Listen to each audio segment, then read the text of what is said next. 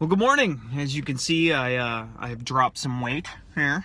Yeah, it's all nice and white. So in the sun today, I should get a nice sweet sunburn just in this region.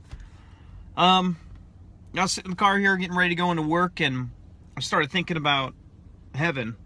You know, the devil does a really good job in distracting us with all the little things that happen throughout the day, all the little, you know, stubbing your toe and dealing with difficult people and all these things that happen and the best way to overcome that is to is to focus on the end result. And the end result is spending eternity with god. In randy alcorn's book heaven he does a really great job of explaining what heaven would look like using scripture. And he talks about being in a place in a perfect body in a perfect place in the presence of the person you were made for. And how good it feels to be with somebody you love and just imagine being in a place with god who's created you and knows you better than you do so focus on that today and when you're struggling when you're stressing out. That'll bring